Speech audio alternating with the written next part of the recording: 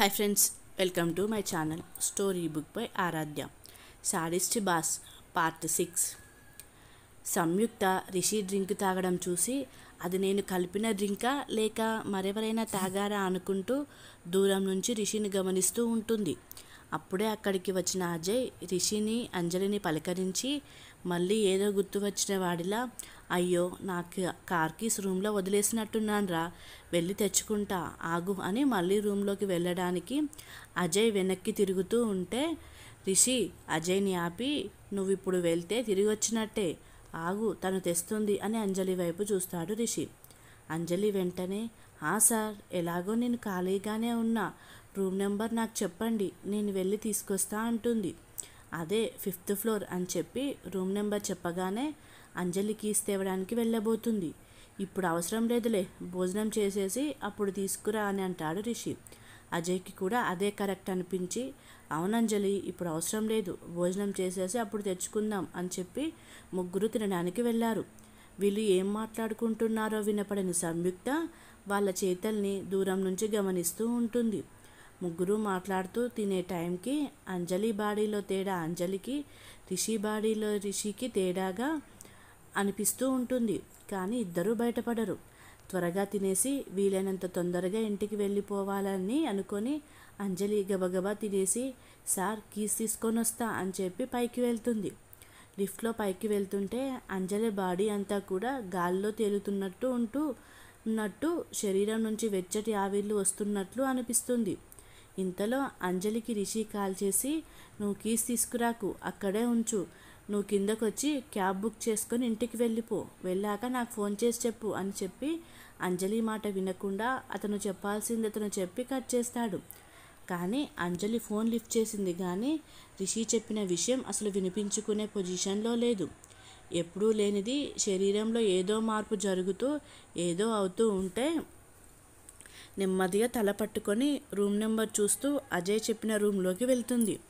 మరోవైపు తన కారులో ఇంటికి వెళ్ళిపోమని అజయ్కి తన కార్ కీస్ ఇచ్చి నీ కార్ నేను తెస్తాను అని చెప్పి చుట్టూ అనుమానంగా చూస్తూ పైకి వెళ్ళడానికి కదులుతాడు రిషి. రిషి చుట్టూ చూసే సమయానికి రిషిని గమనిస్తున్న సంయుక్త పక్కకి దాక్కుంటుంది. ఎంతసేపు అయినా రిషి నార్మల్గానే ఉండటంతో తన ప్లాన్ ఫెయిల్ అయిందని కోపంగా అక్కడి నుంచి వెళ్ళిపోతుంది సంయుక్త. పైకి వెళ్తున్న రిషికి నిమిష నిమిషానికి ఒంట్లో వేడి ఎక్కువ అవుతుంటే లిఫ్ట్ వాళ్ళని చేత్తో గట్టిగా కొడుతూ ఉంటాడు. అజయ్ చెప్పిన రూమ్లోకి వెళ్ళి అజయ్కి ఫోన్ చేసి నేను చెప్పేది జాగ్రత్తగా విను. నేనున్న ఈ రూమ్ లోపలికి ఎవరిని పంపకు. ఈరోజు రాత్రికి నేను ఇక్కడే స్టే చేస్తా. ఏంటి? ఎందుకని? నువ్వు ఇప్పుడు ఏమీ అడగకు. నువ్వు కూడా ఇక్కడికి రాకు. నా కార్ తీసుకొని వెళ్ళిపో ఇక్కడ నుంచి. నేను రేపు వచ్చే వరకు నువ్వు ఆఫీస్ మేనేజ్ చేయి అని చెప్పి ఫోన్ పెట్టేసి పక్కకు చూస్తాడు రిషి. ఏదో జరిగింది అని అజయ్ కనిపించి అజయ్ కూడా చుట్టూ చూస్తాడు. చుట్టుపక్కల ఏమీ తేడాగా లేకపోవడంతో అంజలి ఎక్కడ ఉందో అని కాల్ చేస్తాడు అజయ్. రిషి ఉన్న రూమ్లోనే అంజలి కూడా ఉండటంతో అజయ్ ఫోన్ చేయగానే బాత్రూంలో షవర్ కింద తడుస్తూ ఏడుస్తున్న అంజలి పక్కన హ్యాండ్ బ్యాగ్లో నుంచి రింగ్ టోన్ వినిపిస్తూ ఉంటుంది. లోపల ఎవరో ఉన్నట్టు సౌండ్ వస్తుంటే కష్టంగా అడుగులు వేస్తూ బాత్రూమ్ దగ్గరికి వెళ్ళి చూస్తాడు రిషి.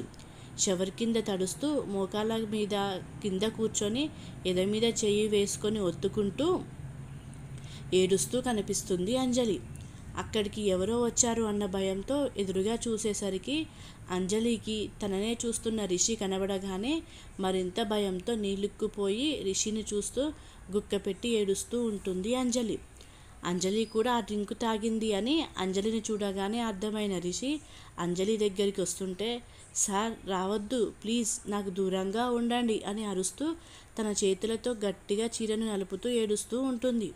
నీకేమైందో నాకు తెలుసు. నువ్వు ముందు లోపలికి వెళ్ళు అని చెప్పి ట్యాప్ ఆఫ్ చేసి అంజలిని పైకి లేపి బాత్రూమ్ నుంచి బయటకు పంపుతాడు రిషి. అంజలి బయటకు వెళ్ళాక రిషి బాత్రూమ్ లోపలికి వెళ్ళి గోడకి చేతులు పెట్టి షవర్ కింద తడుస్తూ ఆలోచిస్తాడు. నిమిష నిమిషానికి డ్రగ్ పవర్ ఎక్కువ అవుతుండడంతో లోపల రేగుతున్న కోరికల్ని అనుస్తున్న రిషికి నరాలు నొప్పికి ఉబ్బిపోతూ ఉంటాయి. డ్రగ్ పవర్ మరింత ఎక్కువ అయ్యేసరికి కనీసం నిలబడలేని స్థితికి వచ్చేస్తాడు రిషి. ఇంతలో బయట ఏదో శబ్దం వినగానే అంజలి బయట ఉందన్న విషయం గుర్తొచ్చి తన పరిస్థితి ఇలా ఉంటే అంజలికి ఇంకా ఎలా ఉందో అని భారంగా నడుస్తూ బయటకొస్తాడు రిషి. తడిచీరతోనే బెడ్ మీద ముడుచుకొని పడుకొని చేతులతో పొట్ట కింది భాగంలో పట్టుకొని ఏడుస్తూ కనిపిస్తుంది అంజలి. ఏడుస్తున్న అంజలిని ఏ విధంగా కంట్రోల్ చేయాలో తెలియక వెనక్కి వెళ్ళలేక అలానే ముందుకు వెళ్ళలేక ఏం చేయాలో తెలియక అక్కడ ఆగి అంజలిని చూస్తాడు రిషి. తనకొచ్చే నొప్పంతా పిడికిట్లో బంధించి ఊపిరి పట్టి పిడికిలు బిగిస్తాడు. తనకు తెలియకుండానే రిషి కళ్ళలోంచి కన్నీరు కారిపోతూ ఉంటుంది.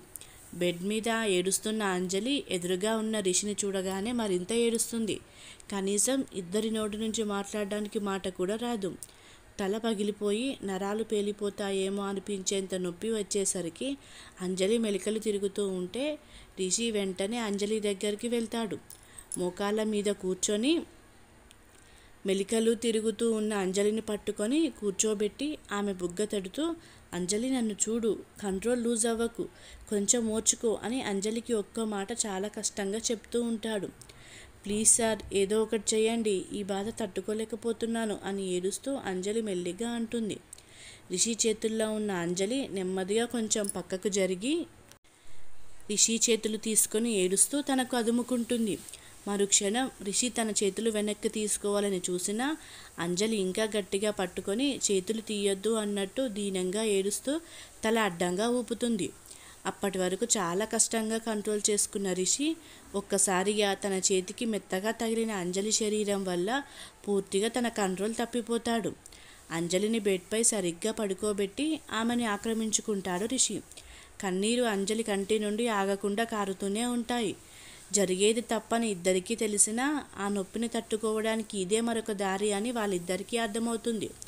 రిషి వల్ల కలిగే బాధ తట్టుకోలేక అంజలి అరుస్తున్న అరుపులు తనకు వినిపిస్తున్నా ఆపలేని ఆపుకోలేని తన నిస్సహాయతకి రిషికి కూడా కన్నీరు ఆగకుండా వస్తాయి. డ్రగ్ ప్రభావం వల్ల శరీరం అంతా ఒక విధంగా భరించలేని నొప్పి వస్తే ఆ నొప్పికి మందు ఇంకొక రకమైన నొప్పి అని తెలిసిన అంజలి నోటి నుంచి అరుపులు బయటకి రాకుండా పంట కింద నొప్పిని భరిస్తూ ఉంటుంది. అంజలి బాధ చూడలేక అరగంట తర్వాత రిషి ఒక్కసారిగా పక్కకు జరిగితే రిషిని చూసి వెళ్ళొద్దు అన్నట్టు రిషి చెయ్యి పట్టుకొని కన్నీళ్ళు కారుస్తూ తల అడ్డంగా ఊపుతుంది అంజలి. అంజలి మొహం చూసిన రిషికి మొత్తం అంతా మసక మసకగా కనిపిస్తూ ఉంటుంది. మళ్ళీ కళ్ళు కనుముకొని అంజలిని చూస్తాడు. ఎప్పటి నుంచో ఏడవడం వలన ఉబ్బిన కళ్ళు చూసి అంత జరిగినా కూడా ఆ కళ్ళు తనను దీనంగా బ్రతిమలాడడం చూసి జరిగినది ఎవరూ మార్చలేరుగా. ఇంకా జరిగితే కనీసం అంజలి ప్రాణాలతో అయినా ఉంటుంది అని మళ్ళీ ఆమెను ఆక్రమించుకోవడానికి అంజలి పైకి చేరుతాడు రిషి. అంజలి వంటి మీద లెక్కలేనన్ని పంటిఘాట్లు ఉంటే రిషి వంటి మీద లెక్కలేనన్ని గోటిఘాట్లు ఉంటాయి. ముందు రోజు రాత్రి పదకొండు గంటలకు మొదలుపెట్టిన వాళ్ళు డ్రగ్ ప్రభావం పూర్తిగా తగ్గే వరకు ఇద్దరూ తిండి నిద్ర లేకుండా లెక్కలేనన్ని సార్లు కలుస్తూనే ఉంటారు. రూమ్లో విండోస్ కర్టన్స్ ఏవి కూడా ఓపెన్ లేకపోవడంతో ఆ నాలుగు గోడల మధ్య ఉదయం కూడా చిమ్మ చీకటిగా ఉంటుంది. పూర్తిగా ఆ డ్రగ్ ప్రభావం తగ్గేసరికి తర్వాత రోజు మధ్యాహ్నం అవుతుంది. ఆఖరి కలయిక తర్వాత కనీసం కదిలే ఓపిక లేక ఇద్దరు అలాగే ఒకరి పక్కన ఒకరు పడుకుండిపోతారు. మధ్యాహ్నం మత్తుగా పడుకున్న వాళ్ళకి ఆ రోజు రాత్రి వరకు ఇద్దరికీ మెలకువ రాదు. తెల్లవారుజామున నాలుగు గంటల సమయంలో అంజలికి మెలకు వస్తుంది. ముందు రోజంతా ఏడుస్తూనే ఉండటం కారణంగా కళ్ళు తెరిచి చూడటానికి కూడా కనురెప్పలు బరువుగా అనిపిస్తాయి. ఒళ్ళంతా ఎక్కడికక్కడ పట్టేసి చేతివేళ్ళు కూడా కదపలేని స్థితిలో ఉంటుంది అంజలి. భారంగా కళ్ళు తెరిచి చూస్తుంది. చుట్టూ అంతా చిమ్మ చీకటిగా అనిపిస్తుంది. నెమ్మదిగా మెదడు ముందు రోజు రాత్రి జరిగిన విషయాన్ని గుర్తుకు తెస్తుంది. జరిగింది గుర్తుకు రాగానే పక్కకి చూస్తుంది అంజలి. తన పక్కనే నగ్నంగా బెడ్ మీద బోర్లా పడుకొని ఉన్న రిషి కనిపిస్తాడు. రిషి ఫేస్ చూసిన అంజలి రిషి కళ్ళు మొహం బాగా ఉబ్బినట్టు కనిపిస్తుంది. జరిగింది తలుచుకోగానే అంజలికి తెలియకుండానే ఆమె కంటి నుంచి నీరు కారిపోతుంది. గట్టిగా ఏడుద్దామన్నా కూడా ఏడవడానికి గొంతుల శక్తి లేక మౌనంగా రిషి వంక చూస్తూ ఏడుస్తుంది. కాసేపటికి నెమ్మదిగా పైకి లేచి కూర్చొని బెడ్కి చివర్లో ఉన్న దుప్పటి అందుకోవడానికి ప్రయత్నిస్తుంది. కూర్చొని కొంచెం కిందకి వంగటం వల్ల పొత్తి కడుపులో విపరీతమైన నొప్పిగా అనిపిస్తుంది అంజలికి. అది కష్టం మీద ఆ దుప్పటి అందుకొని కొంచెం రిషికి కప్పి తాను లేచి ఫ్రెష్ అయ్యే ఓపిక లేక కొంచెం దుప్పటి తనకి కప్పుకొని అలానే రిషిని చూస్తూ కన్నీరు కారుస్తూ వెనక్కి వాలి నిద్రపోతుంది. ఒకటిన్నర రోజు నుంచి ఏమీ తినని కారణంగా రిషికి కడుపులో ఆకలి నొప్పిగా అనిపిస్తూ మెలకు వస్తుంది. ఆ రోజు ఉదయం ఆరు గంటల సమయంలో అంజలి లాగానే రిషిక్ కూడా ఒళ్ళు బరువుగా అనిపించి జరిగింది గుర్తొచ్చి పక్కకు చూస్తాడు.